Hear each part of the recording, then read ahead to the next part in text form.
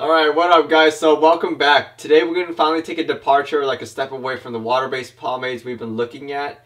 And finally looking at a nice greasy oil-based or like nice waxy oil-based pomade. And so we'll also be finishing off the Byrd line of products that we've been kind of like doing for the past week or so. And so that means we'll be looking at the Slick Byrd, aka their classic pomade.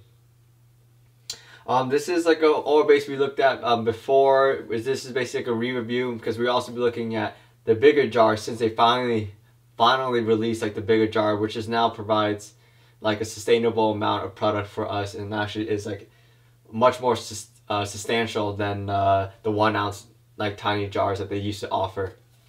So we'll be looking at that. This is a product that we like viewed before. I really like it. It's a nice waxy product, actually really versatile, like nice clean ass scent. And so we'll get into that during the review, but of course we'll start off like always by looking at the pomade jar.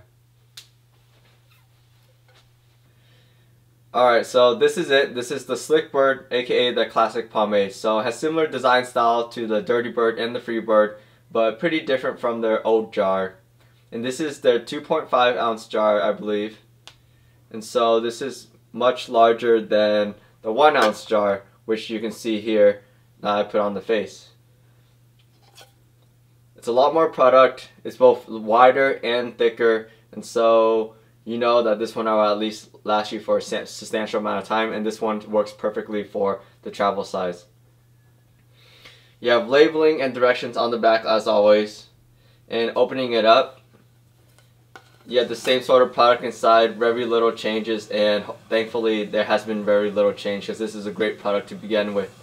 Also, labeling on the side is no longer taped on like the old jar. This is actually printed on and everything is printed on minus the labeling on the back and I believe the bird on the cap is actually printed on now, which is really nice. Overall, some of the best design we've seen here in the pomade market. So let's go use the product now. And opening up the jar, you can catch whiff of one of the best smelling pomades on the market. It's like a really nice, clean, and like refreshing cologne type of smell. So a departure from the cool water or like what we remember from like Palms Not Dead. But if you imagine like pushing it more towards like like a surfer culture, more like refreshing type of like smooth scent and rather kind of like lacking in that like that little hit from a cologne so it pushes more like the smoothness. And basically scooping it out, you know right away it's like a nice waxy product. It strings out, it's reminiscent of like let's say Dax Green and Gold, but at the same time it's much smoother yet not like as greasy as like the Dax Green and Gold. It is like a waxier product. And at the same time that allows for much more like versatility.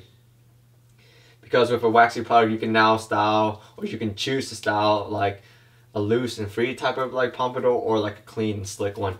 Like you can go either way.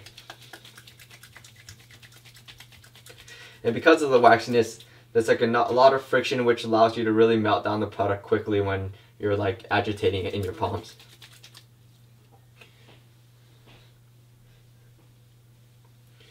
And even if I you have, even if I don't have any product in my hair, my hair is like not damp or anything, it's still really easy to apply. It's never been an issue at all with the Byrd products, uh, minus their matte pomade, which overall, like texture pomades always have a little bit of difficulty to apply, or rather are always a little challenging, given like the nature of the product. Um, but yeah, I mean, it's nice to finally step back into an oil-based product both have their like advantages and stuff like that. And I consistently use water-based products actually for the most part, um, except when I have the opportunity to use certain products like this, or like um, just any sort of like nice, kind of like dry waxy pomade. Um, mostly because they just feel cleaner and they um, are just more manageable. But at the same time, it's still difficult for me to use really waxy pomades because I mean, the amount of hold is just overkill. And then once it gets overkill, it actually plays against me. Yeah, at this also, in addition to everything else, just like the performance, but like stepping back to like the Byrd name itself, I mean, this is like a California brand. And I don't know, this along with Admiral and a few other companies are like all California based and they have a consistent like vibe to them that makes it a lot more applicable to me per se. I mean, like the reason why we even bother looking at the design of the jar or like looking into the company is that like if it's made in California, they understand like not only the weather, the climate here, but they also understand like the culture, like the vibe that like we embody and stuff like that. And so thankfully you don't see or you don't often see like super heavyweight like overkill products that are made in California. You get those from like Arizona or something or just like weird places. And so what you get from like a lot of California brands that are not um, super like in depth or like involved in like the rockabilly community, you get these like pretty um, alternative or like really unique products that offer like most importantly like a balance which as you already know like on this blog this is something like we always push for. It's like always balance. I mean when you buy a product it tells you like the hold shine or rather the hold and the shine and like that's all the information you get but there's a lot more things at play with a product Right, yeah, so I made sure to get little like scoops at a time, making sure to apply just a little bit and that allows me to really spread everything or rather distribute everything evenly because the first time you apply an oil-based pomade um, it's gonna like grip to the hair right away so you want to make sure that you work extra hard to like evenly distribute the product or else you're just gonna top coat it and that's gonna make it really difficult to style later on. With everything applied go ahead start slicking everything back now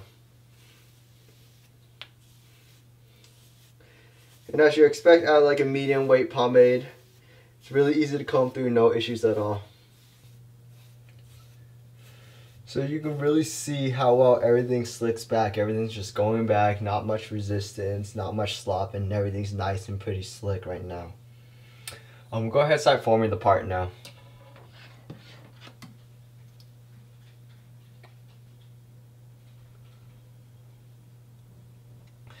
And also in terms of like the scent, I can like smell it all around me right now.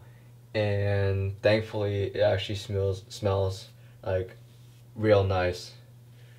Really clean and definitely like ever since I smelled it for the first time this has always been one of like my favorite smelling pomades or rather my favorite like fragrance for a pomade. Really just clean yet still pretty light and overall just good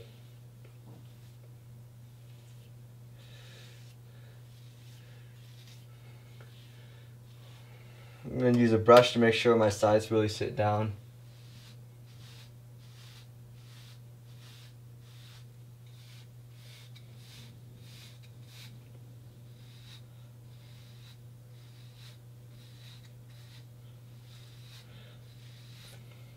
But I do want the lines, so I will come in with a comb once again.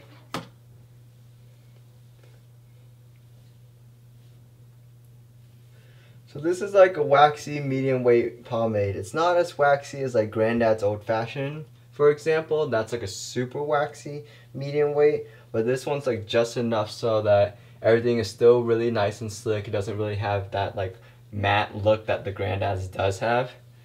But at the same time, it's nice and slick and soft, which allows you to really just go in any direction that you want. If you want to style like a loose pompadour one day, then yes, you got this one. If you want to style slick like pompadour another day, then you can also use this product. Overall, this is one of the most versatile like oil-based products we have, or we've seen at least. And even like the pomade, the collab with um, Clayton and um, Edwin, it's a great product, but it was really meant for that slick, like clean pompadour. And so you can kind of see what I mean by like what I mean when I say it's like a versatile product. With my sides slicked back, pretty nice and clean. Go ahead start forming the pump.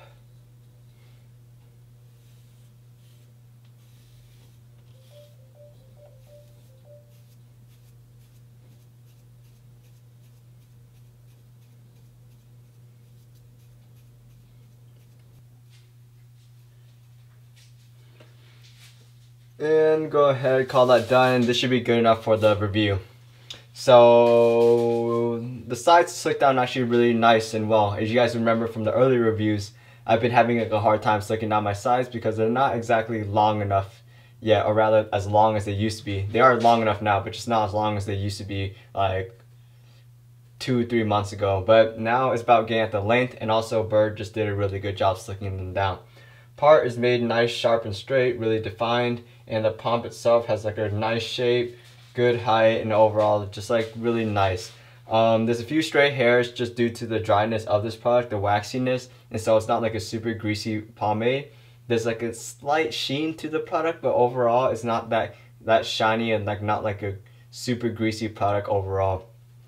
Nice clean feel, beautiful scent, and overall like throughout the day if it gets messy I can just hand comb and it'll still look amazing.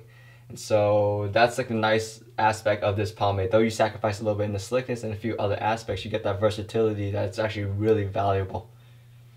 And so we'll go throughout the whole day. I'll come back, talk more about the product, see how well it fared throughout the day, and then we'll go ahead close out the review then. But yeah, see you guys in a few hours and I'll be back later.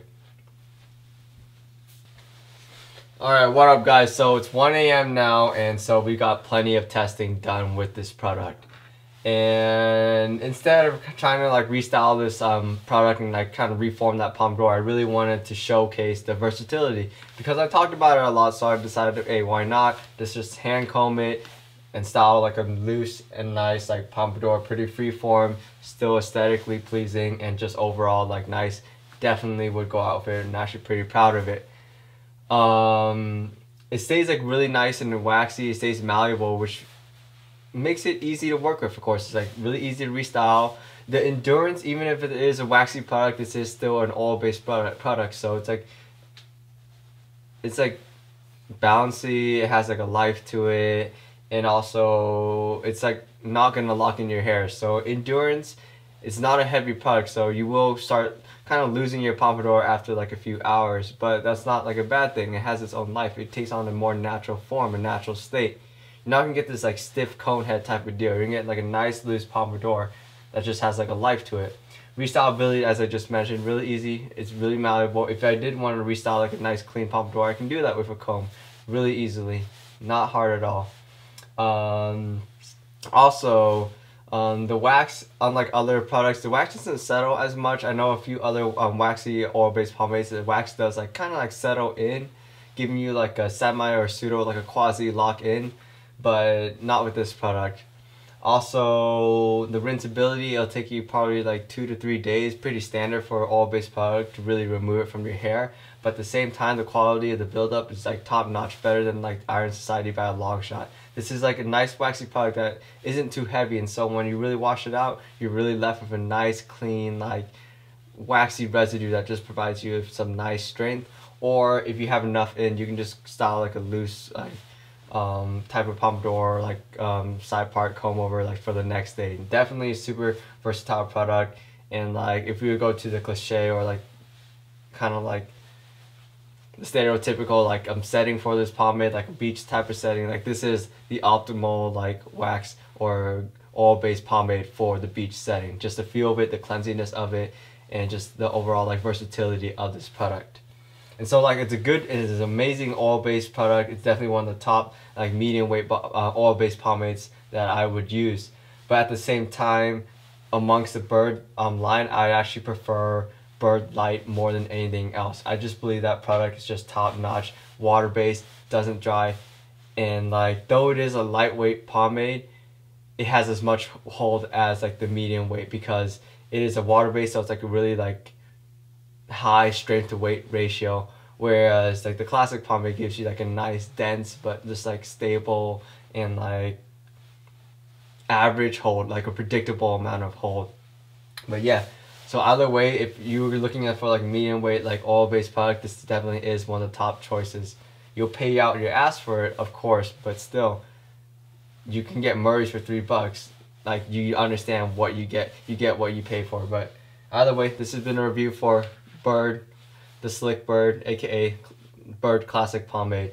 Hope you guys got something out of the review. Um, next week we'll be looking at some more of uh, Rustin's new products and we'll go from there.